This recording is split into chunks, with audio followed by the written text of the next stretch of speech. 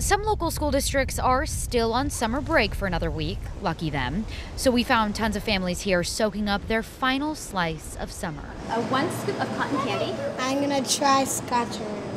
We are part of Beaverton School District and we don't start until next week, so we wanted to do one last hurrah. You have to kick in as many last minute moments as you can before school starts, so yeah, absolutely. Matt Zaffino said Astoria and Tillamook both broke records yesterday. The same heat wave swept over Seaside.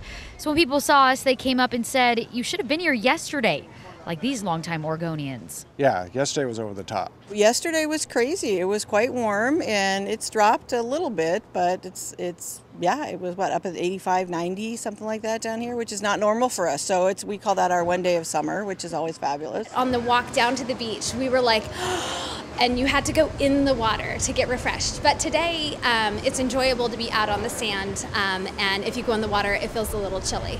Uh, today is sweatshirt weather. Yesterday was no sweatshirt required whatsoever. I like that term sweatshirt weather, and it's so true once the wind picks up on the beach. I think we can all agree the water on the Oregon coast is frigid. You typically need a wetsuit to bear it. Yesterday, not the case. Today, not many people were so eager to run in and cool off. Sorry, people, but it is cold. yeah, but yay, if you're brave enough and you're young enough, you'll go out in that water all day long, like these kids are doing.